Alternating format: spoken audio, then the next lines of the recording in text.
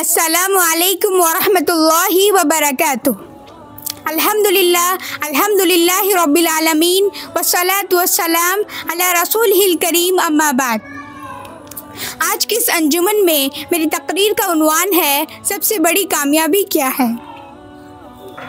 हाजिरीन अंजुमन, असल कामयाबी क्या है?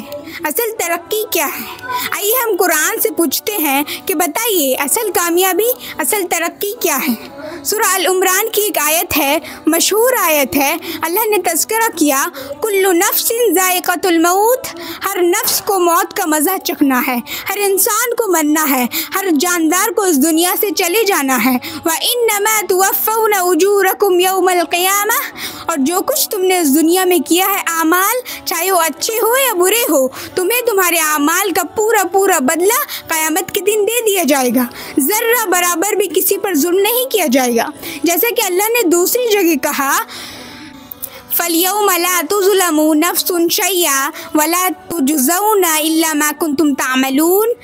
आज के दिन किसी भी नफ्स पर ज़र्रा बराबर भी जुल्म नहीं किया जाएगा और तुम्हें वही बदला दिया जाएगा जो तुम किया करते थे। तो अल्लाह ने इस आयत करीमा में सबसे पहले इस बात की वजाहत की कि दुनिया में आने वाले हर इंसान को, हर नफ्स को, हर जानदार को मरना है। और मर जाने के बाद ऐसा नहीं है कि कहानी ख़त्म, किस्सा ख़त्म, सारी चीज़ें ख़त्म। नहीं, बल्कि जो कुछ तुमने दुनिया में किया है अमल अच्छा या बुरा, तुम्हें तुम्हारे अमाल का बदला कल क़यामत के दिन दे दिया जाएगा। अब आइए अल्लाह असल कामयाबी बताते हैं। कि दुनिया में आने वाला बंदा अच्छा कर रहा है या बुरा कर रहा है, उसे उसके अमाल का बदला दिया जाएगा। लेकिन बदला पाने के बाद रिज़ल्ट आने के बाद, नतीजा आने के बाद, कामयाब कौन है? तरक्की पर कौन है? फ़र्स्ट पोजीशन पर कौन है? नजात किसको मिली है? इसका अल्लाह तस्करा करते हैं। फमन जुहजी है अनिन्नार जो जहन्नम से बचा लिया जाए, जो जहन्नम में दाखिल होने से नजात पा जाए व उदखिल जन्ना और जिसे और जिसे जन्नत में दाखिल कर दिया जाए, फ़कद फाज तो दरहकीकत उसी को कामयाबी मिली है तो दरहकीकत वही कामयाब है। फिर अल्लाह असल कामयाबी और असल तरक्की क्या है ये बताने के बाद, इसका खुलासा करने के बाद अल्लाह आगाही दे रहे हैं कि अभी दुनिया में ज़िंदा हो, अभी सांस ले रहे हो तो अपने आप को होशियार रखो, ख़बरदार रहो कि कहीं तुम्हें दुनिया में ज़िंदगी धोखे में ना डाल दे। अल्लाह आगाही दे रहे हैं कि अभी दुनिया में ज़िंदा हो, अभी सांस ले रहे हो तो अपने आप को होशियार रखो, अपने आप को खबरदार रखो। जैसे किसी दुश्मन के खौफ से हमेशा अपने आप को बचाने की कोशिश करते हो, जैसे किसी दरिंदे से, किसी जानवर से हमेशा अपने आप को होशियार रखते हो जंगल में जाते हो तो नज़रें इधर उधर रहती हैं कि कहीं कोई जानवर, कोई तकलीफ़ देने वाला जानवर ना आ जाए। वैसे ही ये दुनिया है।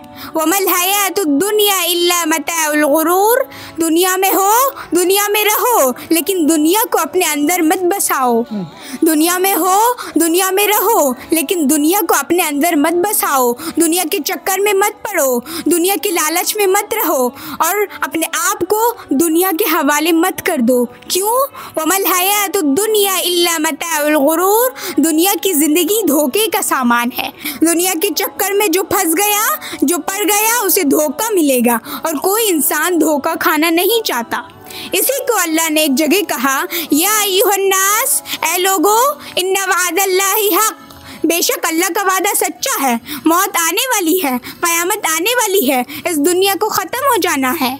फ़ला तगुर्रन्नकुम वल हयात दुनिया लिहाजा होशियार रहो कि कहीं तुम्हें दुनियावी ज़िंदगी धोखे में ना डाल दे खुलासा कलाम ये है कि असल कामयाबी ये नहीं कि आप मालदार हो जाएँ असल कामयाबी ये नहीं कि आप किसी बड़े अहदे पर पहुँच जाएँ असल कामयाबी ये नहीं कि आपको कोई बड़ी चीज़ मिल जाए ठीक है, ये भी कामयाबी है, ये भी अच्छी चीज़ है, लेकिन असल कामयाबी क्या है?